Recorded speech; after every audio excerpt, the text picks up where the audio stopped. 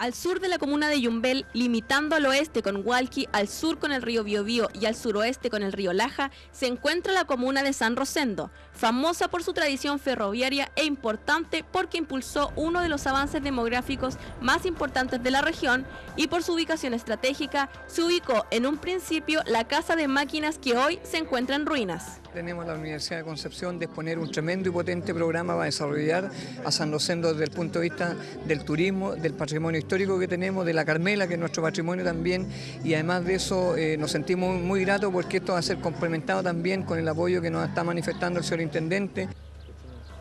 Hasta este lugar llegó por medio del servicio ferroviario Cortolaja el intendente Víctor Lobos, junto al alcalde de la comuna Duberlis Valenzuela y el rector de la Universidad de Concepción, Sergio Lavanchi, a una actividad de la zona. Esto porque dicha casa de estudios está trabajando en conjunto con la Municipalidad de San Rosendo para prestar asesoría turística para potenciar parte del patrimonio cultural de la zona por un convenio que se viene trabajando desde 2009. Él está muy bien apadrinado por la Universidad de Concepción, que él ha estado desarrollando un plan eh, muy interesante, muy factible. Creo que se ha sacado la lotería, le he dicho al alcalde de tener una institución de, esa calidad con sus su académicos trabajando eh, por la comuna de San Rosendo.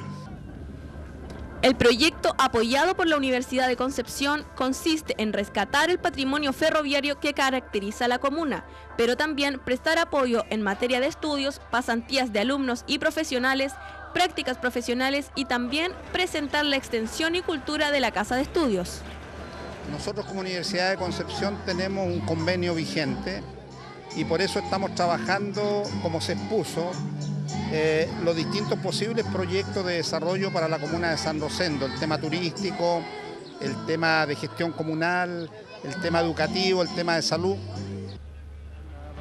Con este proyecto se espera la visita de más turistas que lleguen a la zona para conocer la comuna de San Rosendo y todos los atractivos turísticos típicos del lugar.